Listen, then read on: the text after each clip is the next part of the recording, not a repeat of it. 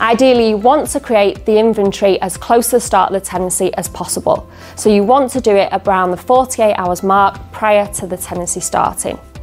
Don't create the inventory one, two, three weeks before, as if there are any damages to the property, the tenant can always claim that they were done during the time between when the inventory was created and the tenancy was started.